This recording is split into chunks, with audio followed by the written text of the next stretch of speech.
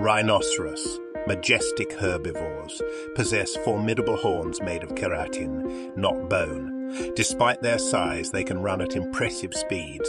Rhinos have poor eyesight, but compensate with an acute sense of smell and hearing. Sadly, they face threats from poaching and habitat loss.